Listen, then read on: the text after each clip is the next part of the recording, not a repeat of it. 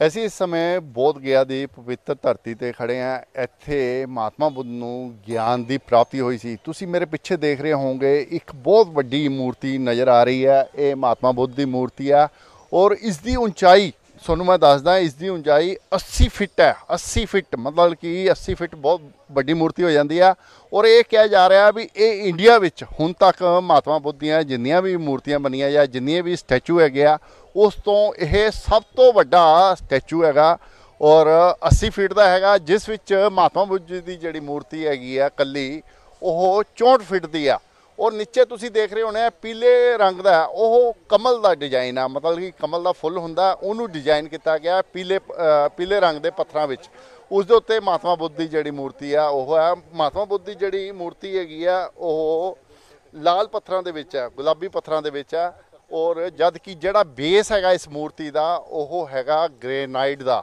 Granite ਦਾ ਬਣਿਆ ਹੋਇਆ base ਹੈ ਉਸ ਦੇ ਉੱਤੇ ਕਮਲ ਹੈ। ਕਮਲ ਦੇ ਉੱਤੇ ਮਹਾਤਮਾ ਬੁੱਧ ਦੀ ਜਿਹੜੀ ਮੂਰਤੀ ਆ, ਉਹ ਲੱਗੀ ਹੋਈ ਆ। ਔਰ ਇਸ 'ਚ ਮਜ਼ੇਦਾਰ ਗੱਲ ਇਹ ਹੈ ਇਹ ਜਿਹੜੀ ਮੂਰਤੀ ਹੈ ਇੰਡੀਆ 'ਚ ਹੈ ਪਰ ਇਹਨੂੰ ਬਣਾਇਆ ਕਿਨੇ ਹੈ ਇਹਨੂੰ ਜਾਪਾਨ ਦੇ ਲੋਕਾਂ ਨੇ ਬਣਵਾ ਕੇ ਇੱਥੇ ਲਗਵਾਇਆ। ਹਾਲਾਂਕਿ ਜਿਹੜੇ ਆਰਟਿਸਟ ਇਹਨੂੰ ਬਣਾਉਣ ਵਾਲੇ ਜਿਹੜੇ ਕਾਰੀਗਰ ਸੀਗੇ, ਉਹ ਇੰਡੀਅਨ ਸੀਗੇ। ਕਾਰੀਗਰ ਇੰਡੀਅਨਸ ਹੈ ਪਰ ਜਿਹੜਾ ਪੈਸਾ ਖਰਚ ਕੀਤਾ ਗਿਆ ਉਹ ਜਾਪਾਨ ਦੇ ਲੋਕਾਂ ਵੱਲੋਂ ਇੱਥੇ ਪੈਸਾ ਖਰਚ ਕੀਤਾ ਗਿਆ ਔਰ ਇਹ ਬੋਧ ਗਿਆ ਵਿੱਚ ਇੱਕ ਬਹੁਤ ਵੱਡੇ ਆਕਰਸ਼ਣ ਦਾ ਕੇਂਦਰ ਹੈ ਬੋਧ ਗਿਆ ਚ ਜਿੰਨੇ ਵੀ ਲੋਕੀ ਆਂਦੇ ਆ, ਉਹ ਇੱਥੇ ਜ਼ਰੂਰ ਆਂਦੇ ਆ ਕਿਉਂਕਿ 80 ਫੀਟ ਦੀ ਜਿਹੜੀ ਮੂਰਤੀ ਆ, ਇੱਕ ਬਹੁਤ ਵੱਡੀ ਵਿਸ਼ਾਲ ਗਿਆ ਜਿਹੜੀ ਮੂਰਤੀ ਆ।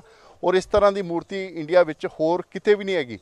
ਔਰ ਮੈਂ ਤੁਹਾਨੂੰ ਹੋਰ ਵੀ ਦੱਸਦਾ, ਇਸ ਮੂਰਤੀ ਦੇ ਦੋਨੋਂ ਤਰਫ ਪੰਜ ਪੰਜ ਹੋਰ ਵੀ ਜਿਹੜੇ ਸਟੈਚੂ ਹੈ ਉਹ ਤੁਹਾਨੂੰ ਨਜ਼ਰ ਆ ਰਹੇ ਹੋਣੇ, ਮੇਰਾ ਕੈਮਰਾਮੈਨ ਤੁਹਾਨੂੰ ਦਿਖਾ ਰਿਹਾ।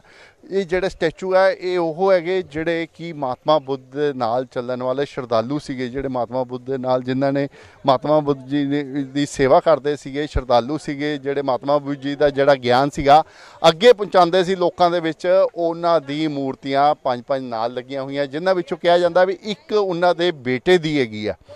ਤੇ ਇਹ ਇੱਕ ਬਹੁਤ ਵੱਡੀ ਗੱਲ ਹੈਗੀ ਆ ਮਤਲਬ ਕਿ ਜਾਪਾਨ ਦੇ ਲੋਕਾਂ ਨੇ ਇੱਕ ਮਹਾਤਮਾ ਬੁੱਧ ਜੀ ਨੂੰ ਇੱਕ ਸਮਰਪਣ ਦਿੰਦੇ ਹੋਏ ਇੱਥੇ ਸਪੈਸ਼ਲ ਮਤਲਬ ਕਿ ਬੋਧ ਗਿਆ ਵਿੱਚ ਇੰਨੀ ਵੱਡੀ ਮੂਰਤੀ ਦਾ ਜਿਹੜਾ ਹੈ ਨਿਰਮਾਣ ਕੀਤਾ ਹੈ। ਤੇ ਮੈਂ ਕੁਝ ਇੱਥੇ ਹੈਗੇ ਆ, ਉਹਨਾਂ ਨਾਲ ਗੱਲਬਾਤ ਕਰਦੇ ਹਾਂ। ਸਰ ਜਿਹੜੀ ਇਹ ਮੂਰਤੀ ਹੈ ਇਸਕੇ ਬਾਰੇ में कुछ बताएं ये मूर्ति आज से पचास साल पहले जापान का लोग बनाए हैं सर जो ये लाल टाइल से बना हुआ है और यहाँ पे ये जो साथी देख रहे हैं, ये पाँच साथी हैं जो बुद्ध के साथ में रहते थे और इनके बाद में बनाए गए संघी इधर में जो उनके पुत्र भी हैं और बहुत सारे जो मोंक दीक्षा दिए थे वो भी हैं, जो पाँच पाँच इधर में दोनों साइड में बनाए गए हैं। और ये टेंपल जापान का लोग बनाए हैं। तो यहाँ पे बहुत सारे टेंपल हैं सर, जो आपको देखने लायक है। ये दस दस टेंपल होंगे यहाँ पे। जो आपको बहुत अच्छे लगेंगे देखने में, इसका लुक अच्छा लगते हैं।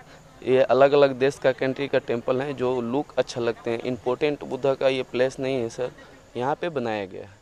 ये जो ਮਹਾਤਮਾ ਬੁੱਧ ਜੀ ਦੀ ਜੋ ਮੂਰਤੀ ਦੇਖ ਰਹੇ ਹੋ ਇਹ ਮਤਲਬ ਕਿ 4 ਸਾਲ ਵਿੱਚ ਇਸ ਮੂਰਤੀ ਨੂੰ ਬਣਾਉਣ ਵਿੱਚ 4 ਸਾਲ ਲੱਗ ਗਏ ਮਤਲਬ ਤੁਸੀਂ ਦੇਖੋ ਇੰਨੀ ਵਿਸ਼ਾਲ ਜਿਹੜੀ ਮੂਰਤੀ ਆ 80 ਫੀਟ ਦੀ ਜਿਹੜੀ ਮੂਰਤੀ ਆ ਉਹ 4 ਸਾਲਾਂ ਵਿੱਚ ਬਣ ਕੇ ਇਹ ਤਿਆਰ ਹੋਈ ਆ ਔਰ ਜਿਹੜੇ ਦਲਾਈ ਲਾਮਾ ਜੀ ਆ ਉਹਨਾਂ ਨੇ 1989 ਵਿੱਚ ਇਸ ਮੂਰਤੀ ਦਾ ਉਦਘਾਟਨ ਕੀਤਾ ਹਾਲਾਂਕਿ ਜਾਪਾਨ ਦੇ ਲੋਕਾਂ ਨੇ ਬਣਾਇਆ ਪਰ ਦਲਾਈ ਲਾਮਾ ਜੀ ਨੇ ਇਸ ਮੂਰਤੀ ਦਾ ਉਦਘਾਟਨ ਕੀਤਾ ਸੀ 1989 ਮਤਲਬ ਪਿਛਲੇ ਤੁਸੀਂ 11 ਤੇ ਅ, 22 33 ਸਾਲਾਂ ਤੋਂ ਇਹ ਮੂਰਤੀ ਜਿਹੜੀ ਹੈ ਇੱਥੇ ਸਥਾਪਿਤ ਹੈ ਔਰ ਬਹੁਤ ਜਿਹੜੇ ਵੀ ਲੋਕੀ ਬੋਧ ਗਿਆ ਆਉਂਦੇ ਆ ਉਹ ਇੱਥੇ ਜ਼ਰੂਰ ਆਉਂਦੇ ਆ ਮੱਥਾ ਟੇਕਣ ਲਈ ਇਸ ਮੂਰਤੀ ਨੂੰ ਦੇਖਣ ਲਈ ਕਿਉਂਕਿ ਇਹ ਇੱਕ ਯੂਨੀਕ ਚੀਜ਼ ਹੈ ਇੰਡੀਆ ਲਈ ਇਹ ਕਮ ਸੇ ਕਮ ਬੜੀ ਯੂਨੀਕ ਚੀਜ਼ ਹੈ ਔਰ ਇਸ ਤਰ੍ਹਾਂ ਦਾ ਜਿਹੜਾ ਸਟੈਚੂ ਆ ਹੋਰ ਕਿਤੇ ਨਜ਼ਰ ਜਿਹੜਾ ਨਹੀਂ ਆਂਦਾ ਮੈਂ ਬੋਧ ਗਿਆ ਤੋਂ ਦਿਨੇਸ਼ ਗੋਇਲ ਕੈਮਰਾਮੈਨ ਅਨਿਲ ਦੇ ਨਾਲ।